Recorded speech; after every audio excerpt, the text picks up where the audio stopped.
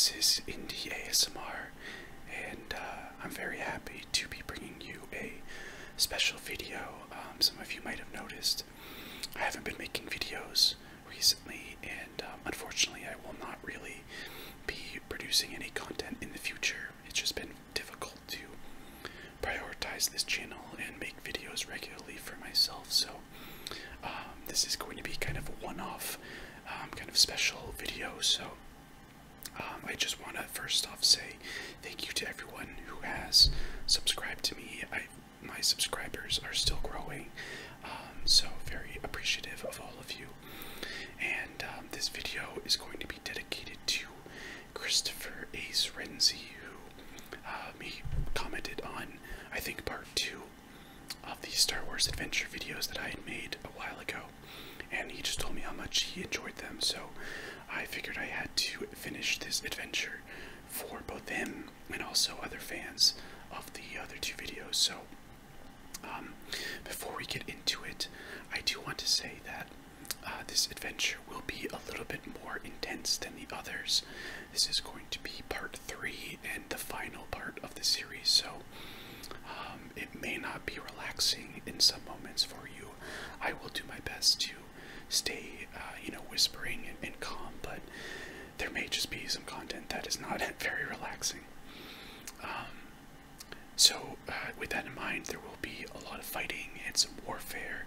There may also be some fairly graphic violence, so there won't be anything too crazy, but if you're not comfortable with that, you may want to just skip this. Um, but for everyone else who is going to watch, thank you all so much, and uh, I hope you enjoy. So, here is the Star Wars Adventure Part 3 The Cybernetic Threat. Part 1 Dr. Silo's Research Camp. Dark clouds hover above you as you tread through the strange Felucian jungle with a crew of six rebels. Walking beside you is Moss Daxon, Oka Mindo, Jasper Neal, and Lieutenant Caluan Ematt of the rebel commando unit named the Shrikes. Lieutenant Ematt has been ordered by General Crix Madine to lead the mission to the research labs to slice the Imperial system and gain access to all data regarding the new cybernetic technologies. It has been made clear that this is a secondary mission to the destruction of the camps. General Madine will not risk this attack at the cost of letting the project's mastermind, Dr. Silo, escape with his team of researchers. In the debrief that you attended before leaving for Felucia, it was stated that the campus would be two miles away from a larger Imperial base with ground troops upwards of 5,000. This also includes a small squadron of TIE LN and TIE Aggressor starfighters in the nearby hangar. Lieutenant Ematt stressed the importance of stealth in this mission and also noted that there's a chance that you would not make it out alive. General Madine is giving you time to steal the cybernetic data, but will not hesitate to make the order for the rebel attack on the camps and the Imperial base. As you trample lightly through the jungle, you are bewildered by the sights that surround you. Large neon mushrooms, fungi, lichen, and plants surround you with overstimulation like a carnival ride. Before you is a long spiraled plant with purple and white stripes and a yellow mushroom cap. It reeks of sulfur as you get close to it, but that is not the only smell that you recognize. Suddenly, a sweet scent of cinnamon hits your nose, and you look down to, to see thousands of blue sprouted flowers with long tubes projected out from their stems and slowly pumping out a brown gas that takes you off guard. Quickly, Oka pulls you back towards the group. What the hell are you doing? Stay away from those, Oka says. What do you mean? I was just walking along and. Wait, how did I get so far away from the group? You reply to her. You were pulled by those senna blossoms over there. Don't you know those are extremely dangerous? A few more seconds, and you would have passed out and left those carnivorous plants a nice snack. Stay with me. You wobble a little bit as you get your bearings, but then a thought hits you. Hey, why don't we pick some of those up and take them with us? You ask Oka. Are you crazy? Why would we do that? She replies. It might help us create a distraction. You point this out as you see a light turn on in Oka's mind. Hmm. I like it, but be very careful. Here, put on this respirator. Oka reaches into her satchel and pulls out two masks with coiled tubes coming out from the mouthpieces. You grab one and attach it to your face. Oka walks with you to the plants and takes a sharp combat knife, which she uses to quickly cut off the flowers of the senna blossoms. You gather a few with her and put them into your bag. Good thinking, kid, she says to you. Shortly after, Lieutenant Caluan Ematt puts his hand up and waves for you to return to the group. You jog briskly towards him, but he immediately hushes you. Shh, quiet, this is it, he says. You peek through the dense multicolored undergrowth and kneel down to remain hidden. Before you is a collection of brown circular tents with simple as doors. They look like they had been pitched in a hurry and haven't been here for a very long time. As you squint your eyes, you glance into an opening and see some lab equipment lying on a metal countertop. Caluan then speaks. There, the big one in the middle. I'm guessing that's where the Imperial database is located. Stick with me. You make your way around the camps, moving clockwise to your left and circling behind the main tent. Caluan motions for Moss and Oka to come with him, and for you and Jasper to keep lookout. You interject and speak quietly to the lieutenant. Uh, if, if you don't mind, sir, uh, and I have a plan to distract the Imperials. You pull out the senna blossoms that you had collected, and you show them to him. He sharpens his gaze out towards the camps and responds with a whisper. Okay, this this is good. Moss, Jasper, you stay behind. Oka and the kid, come with me. You wait briefly for some stormtroopers to pass by fifty yards to your left before scurrying behind a pile of crates next to a smaller tent for cover. You reattach your respirator and grab one of the senna blossoms, which you shove underneath the bottom of the tent. You squeeze it hard and hear a puff of gas exit from the top of the flower. After waiting for a minute, you hear two distinct thuds on the floor. You look to Lieutenant Ematt and Oka and give a smirk nodding your head and scurrying to the next tent. As you release the gas into the tents, you keep an eye out for any patrols nearby. Finally, you make it to the last tent and release the last three senna blossoms. This time you hear several thuds, and as you look inside the tent, you see that no one is left standing. You motion for Oka and Lieutenant Ematt to enter. As you turn around, you see long metal shelves surrounding the walls of the tent. There are bits and pieces of cybernetic parts on them, with various wirings and circuit boards scattered around the countertops below. This is certainly the main research lab, and the farthest wall of the tent is a computer mainframe. Oka walks briskly over and takes out her slicer gear. She holds the metal pad in her hand as she pulls out the black port connected by some multicolored wires and slides it into a slot in the mainframe. A login window appears on the screen in front of her with a spinning Imperial symbol on it. Oka begins typing on her slicer pad. You and the lieutenant stand there with your hands on the blasters and your utility belts. You look around nervously. Make this quick, Corporal, as quick as you can, Lieutenant Ematt says. Oka doesn't respond and keeps typing. After a minute or so, she passes through the login screen and a simple database appears. Oka continues typing as a progress bar appears and begins loading. As she does this, you slowly walk over to the flap at the front of the tent. You take another step, and then suddenly a face appears outside.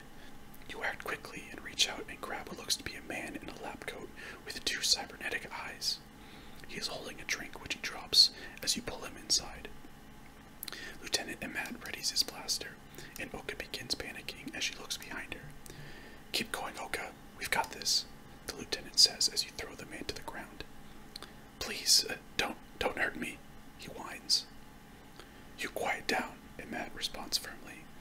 Don't you say another word unless I ask you to speak.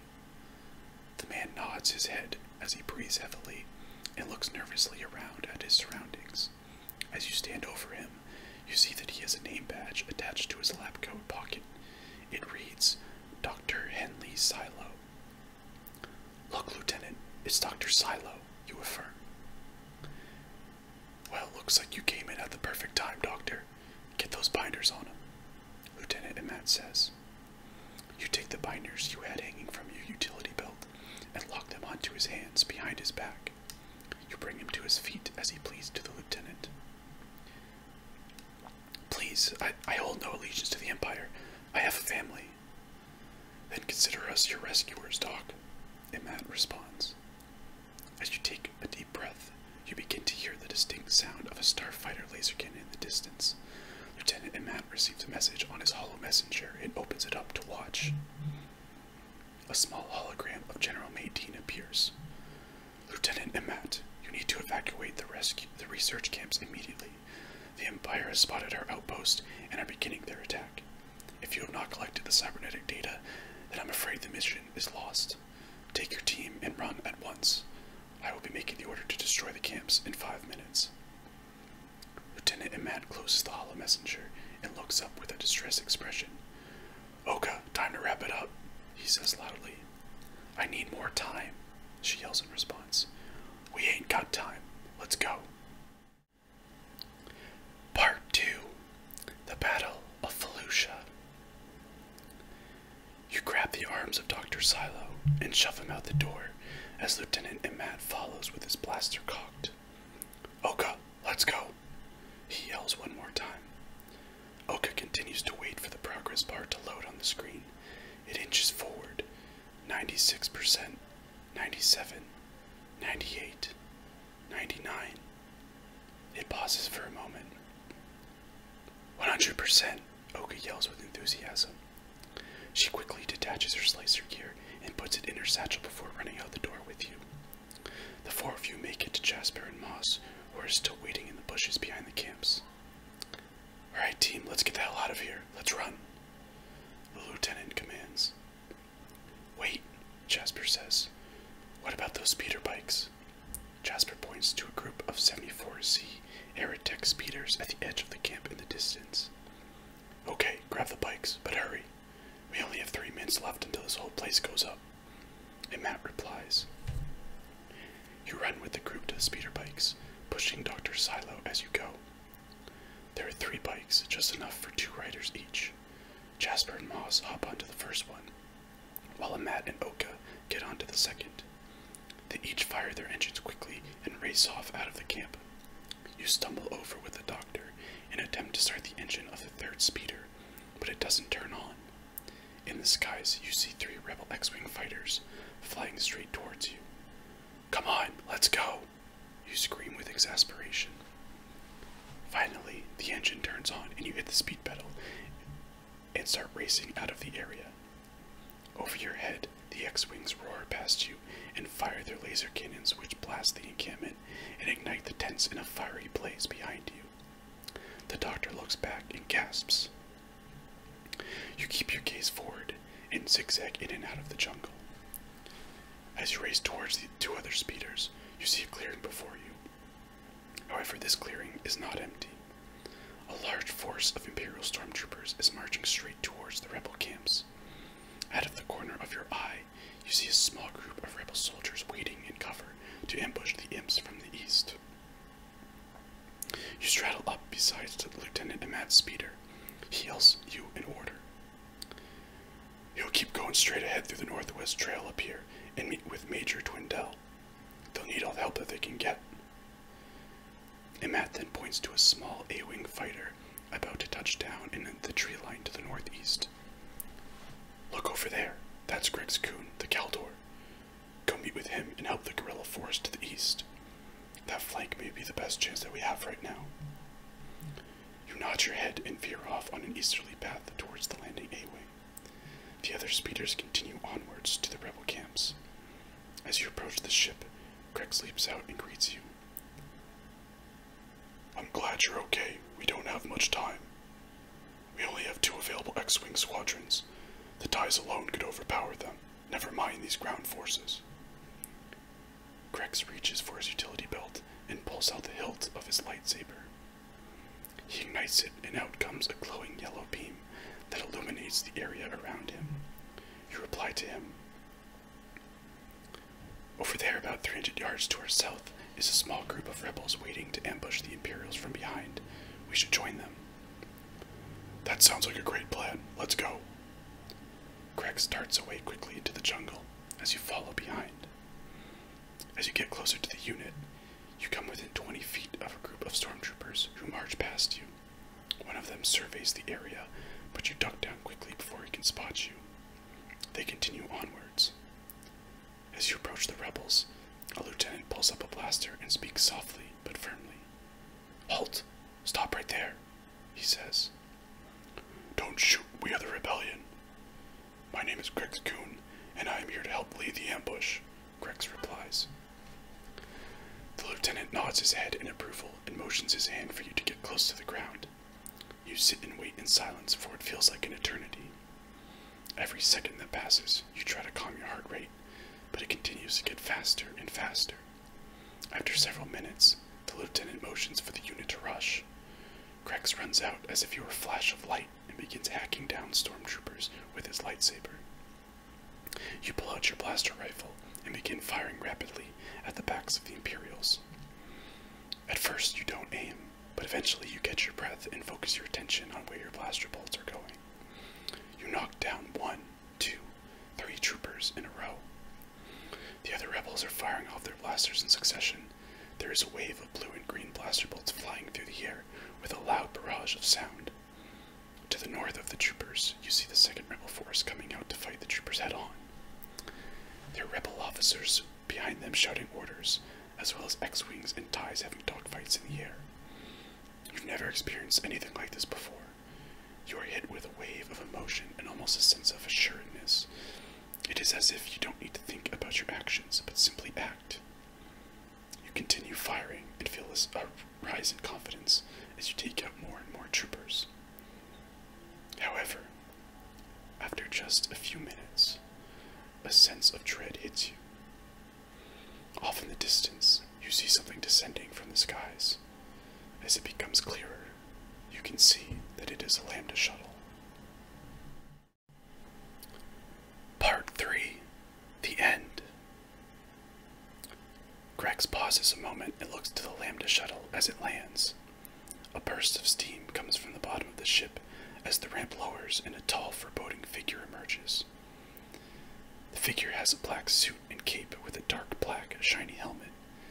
It doesn't take you long to recognize this to be Darth Vader. His presence can be felt deep within you, and your head begins to pound as you lose focus on your blaster fire. Grex begins running through the army of stormtroopers, slicing those he can on his way towards Vader. You call out his name and beg him to stop. Grex, no! He's too far away to hear and is about to meet the villain face to face. Vader puts his hand towards his waist and pulls out his lightsaber. A red beam extends from the hilt and meets with Grex's yellow lightsaber in a defensive parry. The Kel Dor slides in aggressively and kicks up some dirt as he tries to circle to Vader's weak side. Another crack of the sabers can be heard as Vader thrusts forward towards Grex, who bats the attack away. The two continue sparring with each other in the distance. As you readjust your eyes, you lock back onto the troopers around you and start firing again. The ambush appears to be making some ground and helping to scatter the forces. On the northern front of the fight, the first unit is holding their ground well. You cannot be sure, but it appears that the Imperial force is much smaller now than it was when the battle began. In the skies, the small squadron of X-Wings seem to be distracting the TIE fighters well with their evasive maneuvers. Even with Vader's arrival, you feel a boost in morale, and you continue fighting. You pierce a, a trooper through his chest plate with your blaster, and another one falls to the right of you. Your training as a computer specialist did not prepare you for a moment like this, but still you rise to the occasion and fight hard for the rebellion. The ambush unit pushes forward and hits the imps from the eastern side. As you run, you get close to the first unit and see Jasper in his pilot uniform firing from the cover of a giant white and black striped mushroom. You run to him. Hey, you're okay, Jasper says to you in the crossfire. I'm glad you are too, Jasper, you respond. Jasper extends outwards with his blaster pistol and fires a single shot before shuffling back into cover. Oh, we can't stay here. Let's get back to lieutenant, you say. Jasper nods and follows your lead as you weave in between some bright blue cap mushrooms and slimy green pods. As you make it through the rebel unit, you can see Grex and Vader continuing to battle each other in the field near the Lambda shuttle. Flashes of yellow and red slice through the air as Grex jumps onto the ship and then swoops back down from above. As he lands, Vader clips him in the shoulder with his saber. Grex! You scream as you run in their direction. Grex falls onto the flat of his back on the ground and puts his hand on the wound. Vader lifts his arm out and pinches his finger and thumb together, causing Grex to choke and writhe in pain. He is then lifted from the ground and hovers before Vader. As you get to him, you yell out, Stop! Put him down! Silence, rebel scum! He replies with a deep, muffled voice. Ah, a Kel Dor Jedi. You have made it far without us knowing about you, Vader says as he looks back at Grex. Do what you will, Vader. I do not fear the dark side and I do not fear you, Grex says. No. I must say that your words appear to match your emotions. I can feel the bravery within you. It is unfortunate for you that this makes no difference in your fate. Vader takes his lightsaber and brings Grex close to him. All of that time hidden in the shadows, and you reveal yourself only to be destroyed. What a pity. In an instant, you see the red beam of light pass through Grex's neck like a stick of butter. Vader releases him, and his body falls to the ground along with his head, which rolls towards you. You scream in agony. No! The Sith Lord points the tip of his lightsaber towards you and begins walking over slowly. How does it feel to know that you cannot escape? He says to you. I may not escape, Vader, but at least I'll die with a purpose. You respond angrily. Suddenly, to your left, you hear a familiar voice. Hey, Vader! You see Moss standing 20 yards away with a mobile sentry heavy repeating blaster in his hands. He begins firing endless rounds towards Vader, who spins his lightsaber, deflecting every bolt that comes in his direction. He faces Moss and begins walking forward. This is your chance to get away, and you take it. Good luck, kid, Moss yells as he begins firing faster and faster until one of the bolts ricochets back towards him and hits him in the chest. You hear him scream, but can't turn around and keep running to the rebel camps. As you arrive, you meet with Lieutenant Ematt and the remaining crew members. Jasper and Oka are both safe along with many other rebel soldiers, Ematt addresses you. Alright, our jobs are done here. It's time to load up and get home, he says. But what about the battle? You respond. This is not our place anymore. We've done all that we can do here. We have the cybernetic data. We did a great job. Mission accomplished. Now it's time to pack up. Sergeant. He says this as he smacks the badge of a predatory bird, the symbol of the Shrikes, onto your chest. Sergeant, you ask, Ematt just smirks at you and walks away. Despite your appreciation of the commendation, a somber wave of emotion rushes over you as you begin packing up your supplies onto a CR 90 Rebel Corvette starship. You step onto the ramp and wait for Oka and Jasper to follow. As the ship takes off, you sit down at a Dejarik hollow chest table and close your eyes for a moment. As they reopen, you see Oka and Jasper standing before you. Want to play a game, Sergeant? Oka asks you as she puts her hand on your shoulder. Just one, you reply as you smile and flip on the switch. The Corvette flies out of the atmosphere, and you hear the hyperspace engine turn on. It's time to go home. And that's going to wrap up part three of the Star Wars adventure. Thank you all so much for watching. Uh, again, um, this is going to be just a one off video for me, but I do want to thank uh, all my subs and viewers. Thank you all so much for your support. And uh, thanks again to Christopher Azarenzi for requesting this. I hope you guys enjoyed this uh, three part series. If you haven't seen parts one and two, they are on my channel right now, so you can check them out. Um, but yeah, thank you all so much, and uh, I hope you have a good one.